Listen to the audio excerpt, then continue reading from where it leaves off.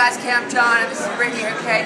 Today we're really excited to announce that we are dating. We've been dating for like five years. You know, it's really tough for me, Britney in the public eye, you know. A lot of people, she was dating Justin Timberlake, she dating like some other guy called K-Fed who got married. But anyway, we just got married as well. Nobody knows about it, but we're announcing it today. And me and Britney are madly in love and that we're getting married. And the date is July 21st, we're getting married. We're really excited.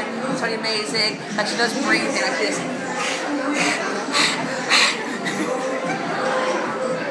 weirdo.